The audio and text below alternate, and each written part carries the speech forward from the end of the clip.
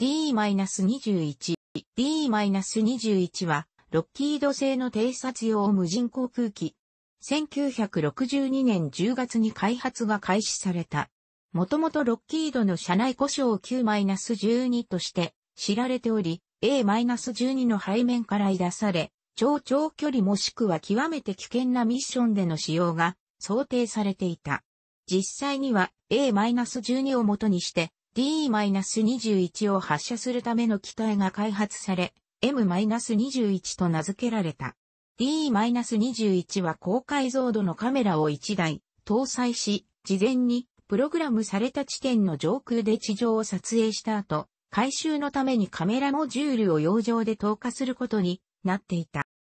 1960年代初頭の時点で、ロッキード社はマッハ3で飛行可能な偵察機 A-12、A-12 は間もなく戦略偵察機 SR-71 ブラックバードへと発展をすでに開発していたが、1960年に発生したフランシス・ゲイリー・パワーズ操縦の高高度偵察機 U-2 撃墜事件を受けて A-12 の無人化という考えが提唱された。A-12 を開発したロッキード社内グループスカンクアークスの責任者であるケディ・ジョンソンは A-12 の機体そのものはそのまま無人機化するには大きすぎ、複雑すぎるが A-12 の設計と技術はより小型の偵察機開発へ流用できるだろうと感じていた。このアイデアは1962年10月に高速、高高度無人機に関する正式な研究の形でまとめられた。この研究はアメリカ空軍のブラック、極秘、プロジェクト向け資金からの援助を受けていた。1963年10月に Q-12 の設計が完了したが、ダブルデルタ翼は A-12 の主翼外翼に類似していた。Q-12 は空中で A-12 の背面から発射されるものとされ、チタニウムによる機体構造などの A-12 プロジェクトで開発された要素技術が使用された。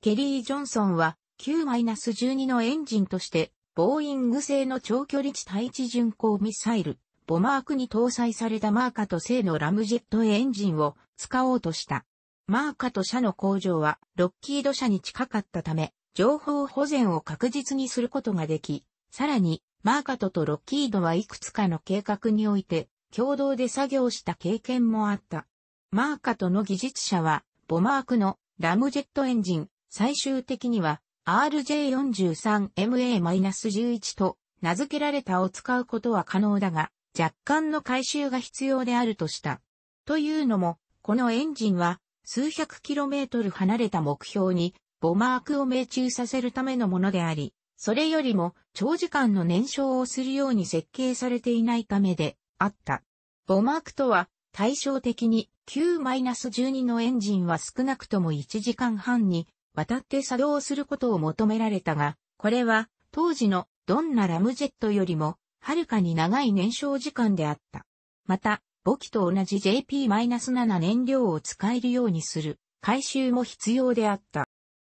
1962年12月7日までには Q-12 のモックアップ1機の用意が整っていた。レーダー照射試験を行ったところ、Q-12 のレーダー反射弾面積、RCS は極めて小さなものであった。風洞試験も良好な成績を収め、設計の正しさが示された。一方で、中央情報局 CIA は Q-12 にあまり熱心でなかったが、これは継続中の U-2 使用ミッション A-12 の取得、東南アジアへの作戦区域の転換といった事柄に、暴殺されていたことが主要な原因であった。対照的に空軍は Q-12 に偵察機及び巡航ミサイルとして興味を示し、最終的には CIA も新無人機の空軍との共同開発を決意した。ロッキードは1963年3月に Q-12 の全規模開発のための契約を獲得した。偵察用機材及び誘導システムは1.9メートルの長さの Q-bay、Q-bay に収納された。これらのシステムは米にきっちりと収められるような一体のモジュールとして作られ、ハッチ、ハッチとして知られていた。元々の設計構想によれば、ハッチはミッションの終わりに出され、機体は専用の爆薬によって自爆することになっていた。ハッチは C-130 輸送機によって空中で回収されることになっていたが、この手法は偵察衛星のフィルム容器を回収するために空軍が鍛錬してきたものであった。1963年末にこのプロジェクトはタグボード、タグボードと命名された。Q-12 は D-21 に A-12 は M-21 に命名し直された D- は娘、ドーター、M- は母、マザーの頭文字。A-12 はもともと18機作られる予定であったが、ここから製造番号60から6940及び60から69412の2機が M-21 用に確保された。M-21 は A-12 の複座型で、胴体中心線上、垂直尾翼間に無人機を機種上げ姿勢で固定するためのパイロンが設置された。パイロン上の D-21 を監視できるよう、発射管制オペレータ、ルコ、ローンチコントロールオペレーターのためのペリスコープが後席に設けられた。M-21 は2機が作られ、一方で試験飛行用に D-21 の初期生産バッジ7機が製造された。当初の主な問題は、簿記 M-21 からの D-21 の発射であった。左右に1枚ずつ、ある M-21 の垂直尾翼と D-21 の両翼端とのクリアランス。間隔は見ていて不快になるほどに小さく、無人機分離時に事故が起きる可能性のあることは明らかだった。M-21 と D-21 は1964年12月22日から分離を伴わないキャプティブ試験飛行を開始し、1965年にかけて続けられた。D-12 のエアインテーク、吸気口及び排気口に被せられた空力カバーは、初の数回の試験の後に取り除かれたが、それというのは、マッハ3で飛行しながら M-21 にも D-21 にも被害を与えずにカバーを投棄することができないからであった。カバーの取り付けを止めたことによって増大した効力は D-21 のラムジェットエンジンを第3のエンジンとして用いることによって克服された。これに伴い分離までの間は M-21 の燃料タンクから D-21 のラムジェットへと燃料が供給されることとなった。M-21 からの D-21 の最初の発射は1966年3月5日に成功裏に実施された。切り離しは成功であったが D-21 は M-21 の背面情報で数秒間乗員の一人によれば2時間にも思えたと待って待った。ケリー・ジョンソンはこれについて我々が関わったあらゆるプロジェクト、私が取り組んだあらゆる航空機の中で最も危険な軌道だったと述べた。D-21 は数百キロメートル飛行した後に墜落してしまった。結果として CIA と空軍はやはりこの計画へ乗り気でないままであった。ジョンソンは空軍の関係者らと会談し、プロジェクトを運用側の要求にもっと近づけるために何ができるかを検討した。様々な案が出たが、その中には D-21 を B-52 爆撃機から発射し、ラムジェットが作動可能な速度までの加速のために固体ロケットブースターを用いるというジョンソンの提案も含まれていた。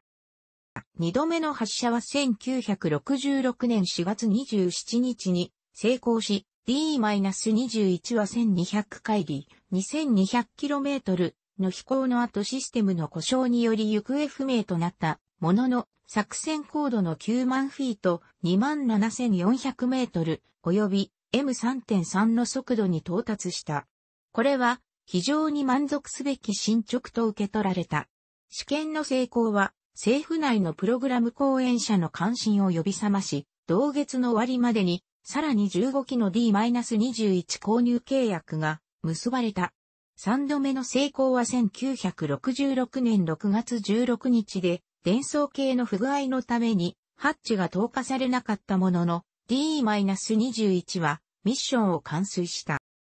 しかしながら、1ヶ月後の7月30日に行われた4度目かつ、最後の発射は3時に終わった。分離の直後に D-21 が M-21 の垂直尾翼に激突し、両機を破損させた。M-21 の乗員2人は、射出により安全に脱出し、海面へ着水した。操縦士のビル・パークは生還したが、ルコのレートリックは秘密服への浸水のために溺死した。この結果、ジョンソンは直ちに M-21 からの発射を断念した。しかしながら、彼は B-52 からの発射方式は依然として実際的であり、D-21 計画は続行されるだろうと感じていた。回収型の無人機は D-21B、D-21A は存在しないと命名され、1966年半ば、時点で発注されていた D-21 前期が B 型として完成した。2機の B-52H が、それぞれ2機ずつの D-21 を搭載できるように改造され、ハウンドドッグ巡航ミサイル用の翼化パイロンがより大型のパイロンに換装された。フライトデッキ、コックピット後方には2箇所の独立したルコステーションが指令、遠隔計測システムと共に増設された。これら追加のシステムとは、広報上の誤差を低減するために正確な座標からの発射を保証する転速広報システムと発射まで無人機を一定温度に保つための温度管理システムであった。B-52 は D-21B と通信することができ、ミッション開始から分離から10分間にわたって接続の維持が可能な改良型の遠隔操作リンクを備えていた。ブースターは固体燃料ロケットで全長13.5メートル、重量約6トンで無人機の機体自体よりも大きかった。ブースタービブには直進性維持のために小型の垂直安定板が下向きに取り付けられていたが、地上で地面とのクリアランス、間隔を確保するために折りたたむことができた。ブースターは約1分半燃焼し、12380 kgf121.4kN の水力を発生する。1967年9月に始まった初期の試験は1969年7月まで続いた。最初の発射は1967年9月28日に試みられたが、無人機が突然 B-52 のパイロンから落下してしまった。ブースターは燃焼したものの、D-21B は位置直線に地上へと向かった。ジョンソンはこのハプニングについて大変恥ずかしいと述べた。1967年11月から1968年1月までにさらに3回の発射が行われたが、いずれも成功しなかった。そこでジョンソンは自ら率いる開発チームに対し、次の死者に移る前に徹底的な見直しを行うよう命じ、次の発射は1968年4月30日で、またもや失敗であった。ロッキードの技術者たちは今一度製図版に立ち戻ったが、これは1968年6月16日の完璧な飛行により報われることとなった。D-21B は全工程にわたって所定のコードとコースで飛行し、ハッチの回収にも成功した。ただし、カメラは載せていなかった。とはいえ、トラブルは終わってはいなかった。次の2回の発射は失敗し、その次の12月の飛行は成功した。明けて1969年2月、ハワイ近海で行われた実際の作戦飛行を模擬した発射は失敗したが、これに続く5月及び7月の飛行は共に成功であった。1969年11月9日から1971年3月20日にかけて中国の上空を飛行し、ロプノール核実験場の偵察を目的とするシニアボール、シニアボールと呼ばれる作戦飛行が実施された。最初の作戦では中国当局はステルス性の高い D-21 を捉えることができなかったが、機体は行方不明となり、回収もできなかった。再三、ロッキードの技術者たちは、回収に取り掛かり、1970年2月20日の試験飛行は成功を収めた。次の作戦飛行は12月16日に行われ、D-21B はロプノールへの全工程を飛行し、回収地点まで帰還した。だが、ハッチは計画した通りに投下されたものの、パラシュートが開かなかったために、落下の衝撃で破壊されてしまった。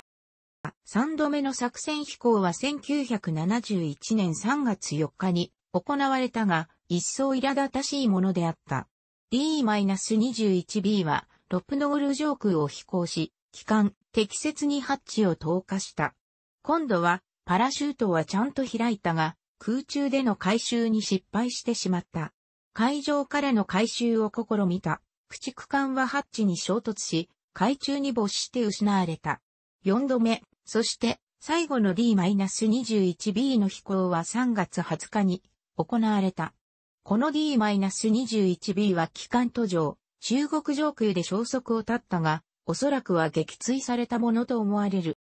1971年7月、D-21B 計画は白紙撤回された。満足な成果を収められなかったこと、新世代の写真偵察衛星の登場、それに、ニクソン大統領の中国に対する歩み寄り政策などによるものであった。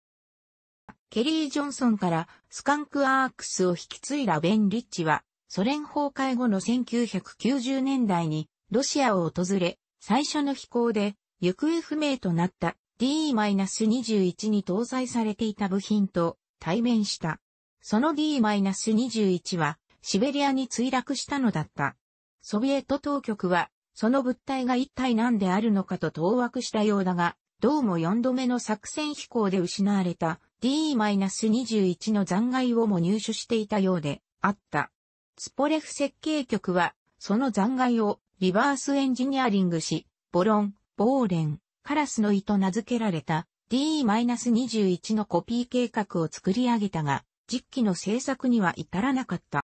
最終的に D-21 と D-21B 合わせて38機が製造され、そのうち21機が使用された。残る17機は、アリゾナ州ツーソン近くのデビスモン山空軍基地の骨置き場にモスボール保管され、GTD-21B と改名された。基地が一般に公開されているため、D-21 の得意な姿はとうとうこうの目に止まり、写真を撮られ、一体この機体は何なのかという憶測を呼んだ。憶測は空軍による誤情報によって、より一層書き立てられた。例えば、A-12 や SR-71 の開発における実験機だったのではないか、といった具合である。保管中の機体のうち、4機は NASA に引き渡された。1990年代末に、NASA は、ロケットベースとコンバインドサイクル、ロケット、ベースとコンバインドサイクル、RBCC エンジンの試験に DE-21 を使用することを検討した。RBCC とは飛行領域に応じて応じてラムジェットまたはロケットとして動作するエンジンである。この案は放棄され、NASA は自前の極超音速実験機 X-43A の派生形を RBCC の実験に用いることにした。その他の機体は博物館での展示用に譲渡された。楽しくご覧になりましたら、購読と良いです。クリックしてください。